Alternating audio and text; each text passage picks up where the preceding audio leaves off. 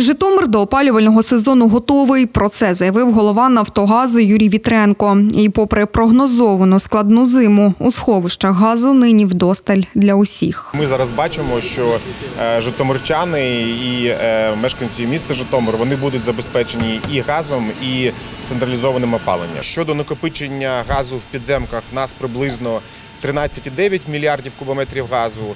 Це дає нам можливість нормально входити в опалювальний сезон. Далі, дивлячись по ситуації, ми вже будемо додатково імпортувати газ. Е, Але е, ми також робимо все необхідне для того, щоб більше видобувати газу. На заході України ми збільшуємо видобуток.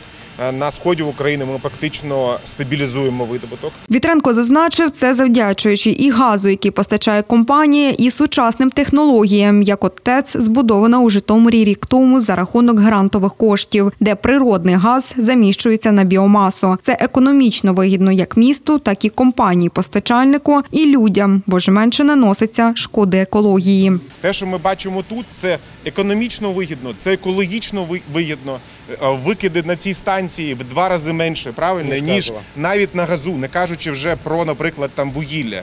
Тобто це краще для людей, це економічно вигідно для, для людей і для держави, і це економічно і технічно обґрунтовано. Мер міста зазначив, за останні роки Житомир значно скоротив використання природнього газу. Я хочу дати там дві цифри. Дев'я- 2015 рік ми споживали всі разом. Житомир споживав 93 мільйони кубів газу. Минулий опальний сезон це вже було 57 мільйонів кубів газу.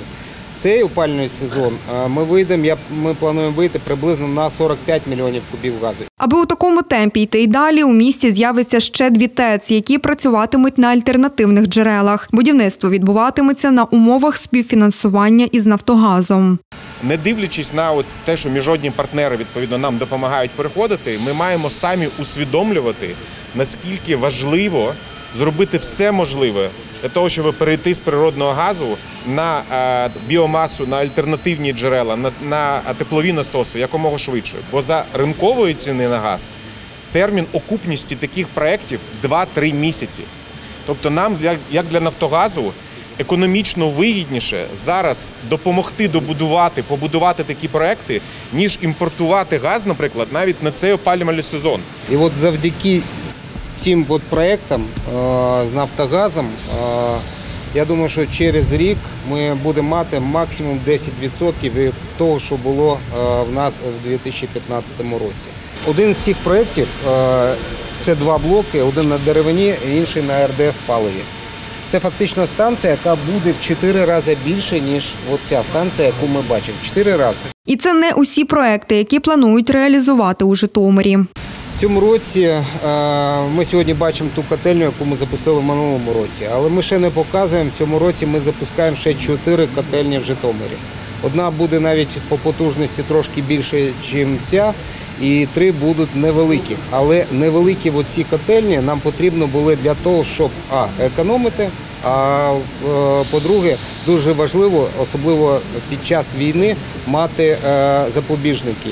Втім, не варто забувати і про війну. Людей просять щомиті бути готовими до перебоїв. Влада ж певнить, зі свого боку робить усе можливе, аби допомогти мешканцям пережити цю зиму. Наш регіон забезпечений дровами. Більше того, е, ми готові е, надавати, окрім того, що ми допомагаємо постійно Збройним силам України завдяки нашим лісівникам, е, допомагаємо деревиною. Ми готові допомагати іншим регіонам. Опалювальний сезон буде непростий. Ми до нього готуємось. Ми готові до будь-яких викликів. Ми готові до бомбових ракетних ударів. Зокрема, у Житомирі отут будуть готові й модульні котельні, які за потреби можуть переміщатися у різні райони міста. Вікторія Гнатюк, Данило Маменчук, телеканал СК 1